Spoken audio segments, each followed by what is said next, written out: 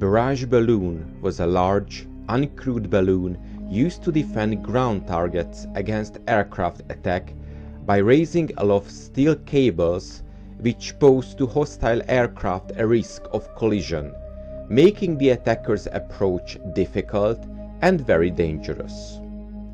Balloons were used to protect industrial and military areas in Great Britain and presented formidable obstacles to German fighters and bombers. These barrages were both fixed and mobile and were capable of effective operation at considerable altitudes. In numerous instances, they damaged the wings or fuselage of the German aircraft to such an extent as to cause the planes to crash or force land on British territory. Avoidance of these balloons was possible, but flying over them, but this reduced the accuracy of level bombing.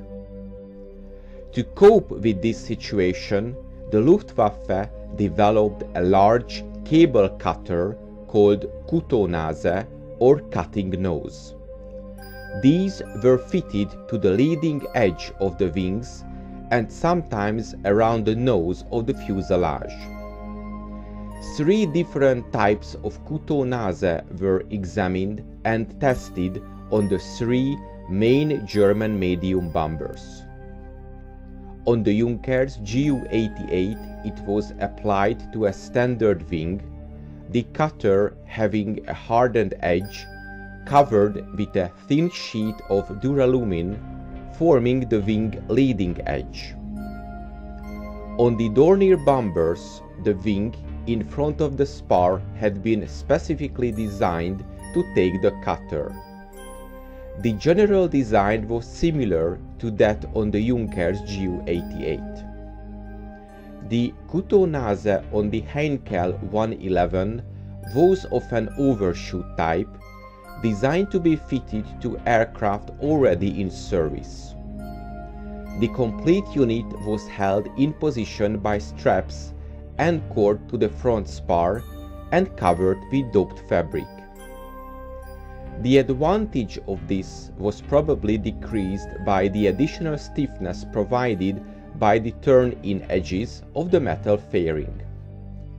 The cutter plate and mounting was again similar to those on the Junkers Ju-88. It is believed that the Kutonase provided complete protection against heavy balloon cables at speeds of over 200 miles per hour, but against light barrage wire it was only effective at a considerably higher speed. Although the type used on the Heinkel was just as effective as that used on the Dornier, the former plane was not so well protected because of its lower maximum and cruising speed. The Kutonase was used extensively by the German Air Force during the Battle of Britain. I hope you enjoyed this episode and to make sure you don't miss my future work, please make sure you are subscribed to my channel and press the bell notification button. Thank you and see you in the next video.